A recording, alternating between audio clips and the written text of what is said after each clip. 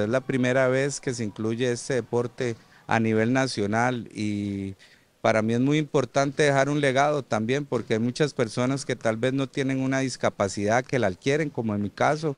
Es muy importante para, para todo el país, ¿verdad? Que nos tomen en cuenta. Este, más bien necesitamos mucho más apoyo. Y demostrar de que podemos hacer las cosas igual o mejores que las personas que no tienen una discapacidad. Sí, claro, de hecho yo tengo seis o siete años de practicar la disciplina y aún conocidos míos cercanos se sorprenden de que yo haga deporte, en este caso baloncesto. Porque hay mucha gente, como tú lo dices, de que no sabe de que se practica esta disciplina y cuando vienen, ven los golpes, ven, ven el choque de las sillas y quedan emocionados con ganas de volver a venir. Sí, estuvieron alrededor de 34 atletas eh, o 34 jugadores, ¿verdad? Entre los cuatro comités cantonales. Em, que bueno, es parte de lo que se ha venido desarrollando a nivel de campeonato nacional, ¿verdad? Tener presencia con cuatro equipos. Y la verdad, muy agradecido, muy emocionante ver que ya hay cuatro equipos que compiten en juegos eh, eh, nacionales.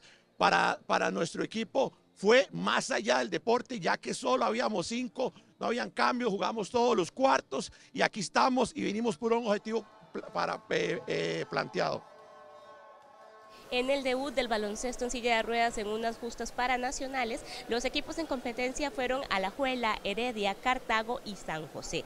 En la final se vivieron altas emociones y el líder indiscutible fue Heredia, que se coronó campeón ante Alajuela, que obtuvo el segundo lugar.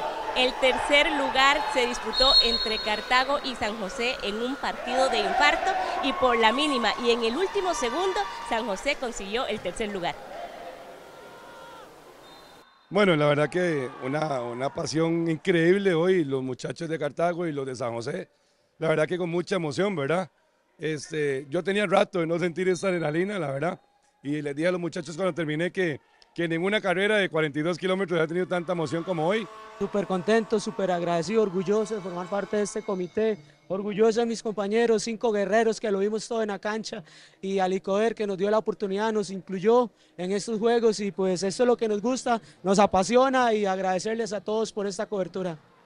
Competir siempre es bueno y pues muy contento la verdad, no, no, no creímos que, que, que, fuera a ser una experiencia tan bonita, la verdad es que sí, ver que la organización, este, el ICODER fue prácticamente perfecta, no hubo error de nada y, y pues nada, esperando ya desde ya el próximo año, ¿verdad?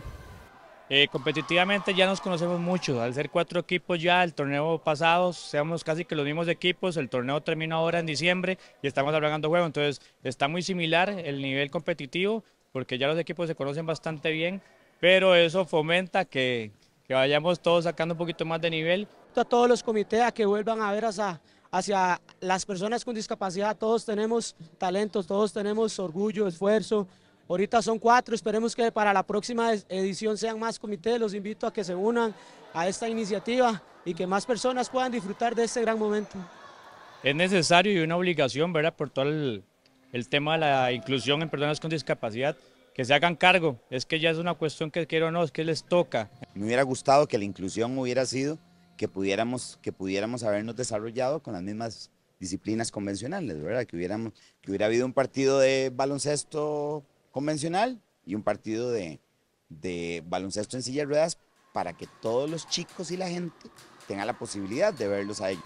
Sí, creo que es parte de las oportunidades de mejora, el tema no solamente del público, porque estamos ubicados creo que en un lugar un poquito escondido, ¿verdad?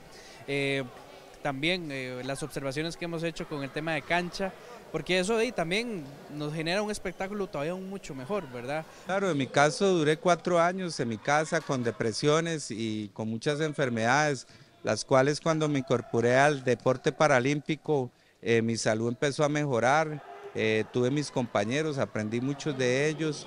Si Dios me lo permite y esa es la fe, que algún día ir a jugar internacionalmente como lo hacen otros compañeros de otros equipos. Y que se tiren al agua, ¿verdad? Como se dice popularmente, que es una experiencia única. Fue muy exitoso, digamos, para mí es una emoción, una pasión y lo llevo en la sangre y, y quiero desempeñarlo por muchos años más.